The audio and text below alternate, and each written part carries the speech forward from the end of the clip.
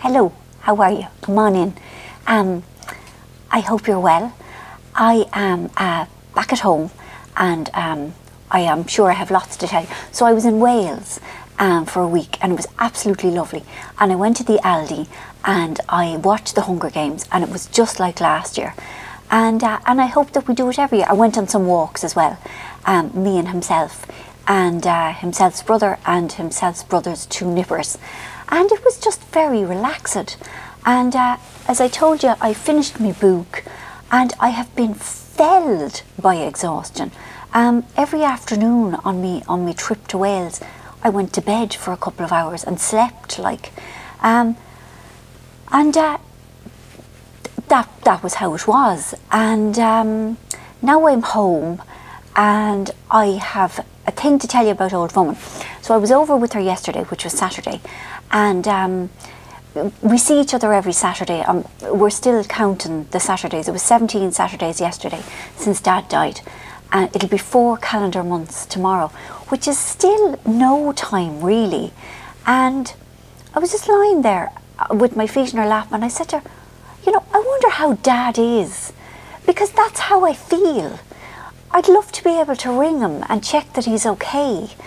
Um, it's the oddest, oddest thing. And it's just very weird when you can't talk to a person. And so, anyway, we were there and we were chatting away about nothing. Uh, Hannah has been sick. Hannah got uh, some illness that gave her spots, but it wasn't measles, it was suspected foot and mouth. I don't know how these things happen, but anyway, I don't think it was.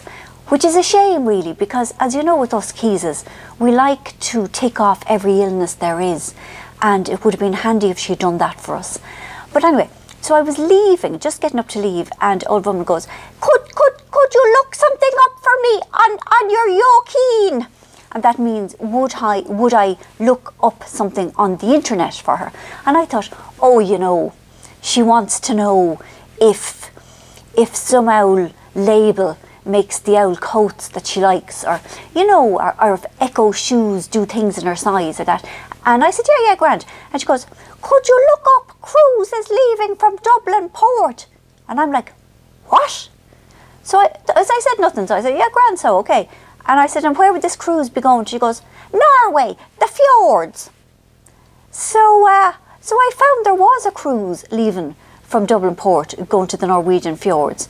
And she goes, okay, uh, how many nights? And I said, well, there's one that's 12 and there's one that's 8. She goes, Grant, so we'll do the 8 nights. And I said, hold on a second, are you going on a cruise? And she goes, oh yes, you, me, Hyterton, that's what she calls Katrina, and Gary, that's Rita Ann.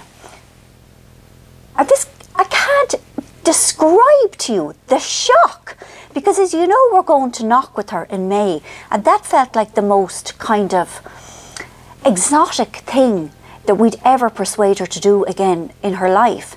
And she goes, I like it because there's no airport, there'll be no walking. And I said, so, so we're going on a cruise to Norway? And she goes, yes. And I said, are the husbands coming? And she goes, oh no, just the girls.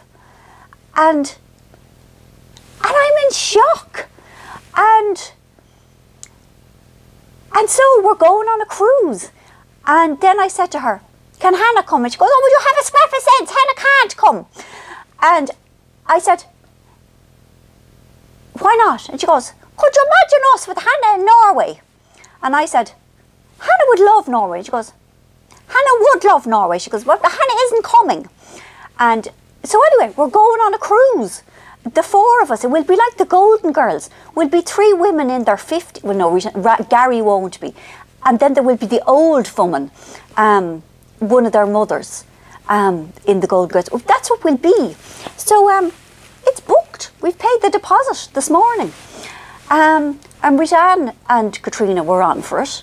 And it's just the maddest thing ever. But like, she's incredible.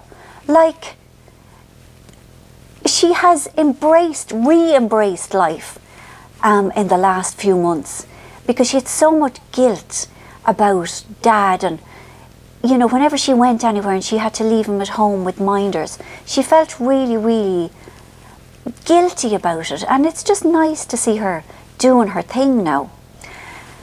So, um, it's Sunday, so I'm going over to Old Woman's later, and they're all coming. Um, Gary, the Redzers, Hannah, Teddy, Tig, Emma, my beloved Emma.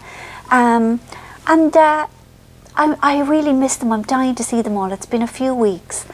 And and so I have finished my book sort of. I mean I'm waiting for my edits, which would be which would be brutal and grueling. But I'm doing things that I haven't done in a while. Like uh, I'm organising my banjoing area and uh, himself got me a lovely press from IKEA that I'm going to move all my things out of the utility press into my special banjoing press, and that's nice. And uh, hang on, I have to ask him things. Is there anything else that we've been doing? No. He says. Um, uh, no, I feel there are things. Oh, yeah, yeah, hang on, I wanted to tell you something. Right. Aveda. It's this Speed of Light Blow Dry Accelerator Spray. This is incredible. As you know, I have fabulous extensions, and the only downside to them is that it takes me about a day and a half to blow dry my hair. And this, I don't know how it works because it makes your hair wetter. You have to spray it on your wet hair, towel dried wet hair, to saturate it again. But then it's dry and jig time. And this is one of those rare things that actually genuinely works. So it's by Aveda, it's called Speed of Light. I don't know if it's actually Speed of Light speedy, but um, it's immensely fast. It, it's made a huge difference to my life. And I bring it now on the rare occasions that I go to a hairdresser's to get my hair blow dried, because when they see me coming with my fabulous locks, you can see their face. You can feel, feel that first they want to cry and then they hate me. They, they, they go down and then they go up. And I present them with this and say, no, no, no, don't hate me, please. This will work. This will actually make it quicker. And then they're always amazed. Um, so at the minute, I'm reading the long list entries for the Comedy Women in Print Reward. And it's just so enjoyable. It's lovely to read and call it work. I mean, I did a lot of that in Wales. I think I read five of the books. Um, you know, I used to go to bed in the afternoon with the book and say, look at me, I'm working and I am also preparing my scripts and stuff for the BBC Four um, uh, show that I'll be doing. I'll be recording four shows on the 24th and the 25th of May, I think. Yeah, the 24th and 25th of May in that there London. I let you know it will be filmed before a live studio audience. So um, if you want tickets, I will apprise you if that's even the word. Um, so Easter is coming. There will be lots of chocolate. Um, God, you should hear Old Woman's preparations for Easter week. It is fabulous. Hang on, there's, there's devotions on Thursday. Then on Friday we've the stations. She means the stations of the cross. And then we have a long mass. That's the one where they go release Barabbas, you know. And then we have devotions again on the Saturday. And oh yes, and we all have to go to confession. You have to do your Easter duty. And um, and uh, and then of course we have Easter Sunday. We have the resurrection. And, uh, you know, it's a big deal for her. Um, but for us, well, for me anyway, it's chocolate. Um, I hope you're well. Um, I have no telly news to tell you about, really. We've start, started watching some Swedish show called, is it Quicksand? Very good. Um, it's about rich Swedish people. I didn't think there was such a thing. I thought that they were all lagom-y. And that's a word, a Swedish word, meaning we don't show off and we don't be owning yachts. But the, the people in, the, in this show own a yacht, which is, um, I don't know, feels all wrong. But still, it's very enjoyable. So I hope you are well and I will talk to you next Monday, God willing, DV and all of that.